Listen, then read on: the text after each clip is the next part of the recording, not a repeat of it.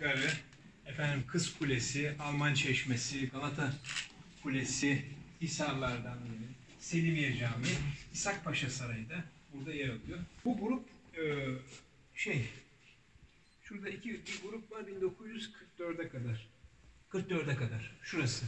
Hı hı. Üzerine daha sonra yazacağız. Osmanlı İmparatorluğu 1944'e kadar e, Anadolu Üniversitesi'nden hocaların yaptıkları resimler. Yukarıda da yani bir ressam.